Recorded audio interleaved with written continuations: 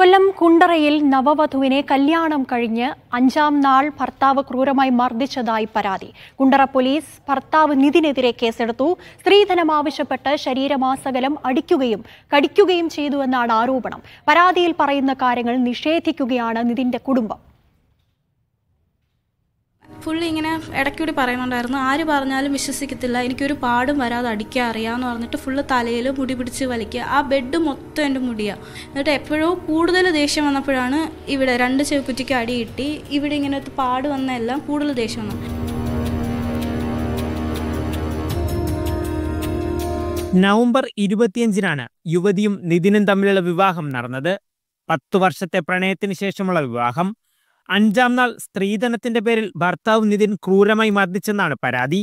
തലയിലും കവിളിലും കഴുത്തിലും കൈകൊണ്ടടിച്ച് പരിക്കേൽപ്പിച്ചെന്നും കൈകളിൽ കടിച്ചു പരിക്കേൽപ്പിച്ചെന്നുമാണ് എഫ്ഐആർ. കഴുത്തിൽ പിടിച്ചു ഞെക്കുന്നുണ്ടായിരുന്നു ശ്വാസം മുട്ടിക്കുന്നുണ്ടായിരുന്നു.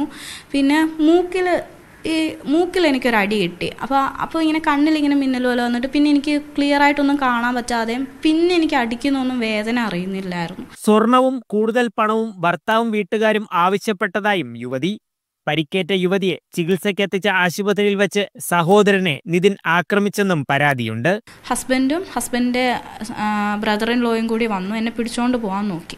അപ്പോൾ പിടിച്ചോണ്ട് പോകാൻ നോക്കിയപ്പം എന്റെ ബ്രദറും എന്റെ അങ്കിളും വന്നിരുന്നു. ആ അങ്കിളും തടഞ്ഞു. അവർക്ക് രണ്ടുപേർക്ക് ഇടി കിട്ടി. യുവതിയുടെ പരാതിയിൽ കേസെടുത്ത കുണ്ടറ പോലീസ് നിസ്സാര വകുപ്പുകളാണ് ചുമത്തിയതെന്നാണ് കുടുംബത്തിന്റെ ആക്ഷേപം. ബിവറേജസ് കോർപ്പറേഷൻ ജീവനക്കാരനാണ് നിതിൻ. സ്ത്രീധനത്തിന്റെ പേരിൽ മർദ്ദിച്ചെന്ന ആരോപണം അടിസ്ഥാനരഹിതമാണെന്നാണ് നിതിന്റെ കുടുംബത്തിന്റെ വാദം. മീഡിയ വൺ കൊല്ലം